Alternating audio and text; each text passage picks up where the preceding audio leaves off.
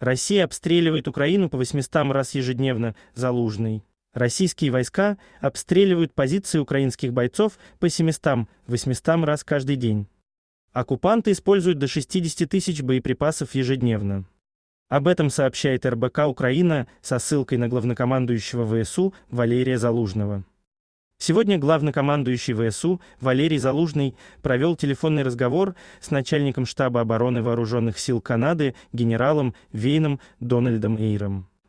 В частности, он рассказал ему о ситуации на передовой. Отметил, что по всей линии фронта противник продолжает наступать. При этом осуществляет около 700-800 обстрелов наших позиций ежедневно, применяя от 40 до 60 тысяч боеприпасов, отметил главнокомандующий ВСУ. Залужный сообщил, что россияне сосредотачивают основные усилия на вытеснении украинских войск из Донецкой области. По его словам, наиболее напряженная ситуация сейчас на направлении Авдеевка, Пески, Маренко. При этом оккупанты продолжают обстреливать мирные города и села Украины.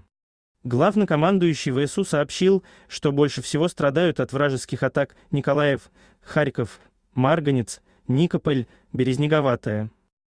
Как сообщалось ранее, у Украины вызывают беспокойство ракетные системы вдоль государственной границы со стороны Беларуси.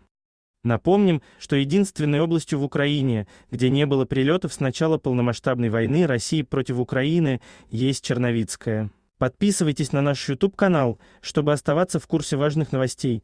Также под видео вы найдете ссылку на скидки на AliExpress. Спасибо за просмотр.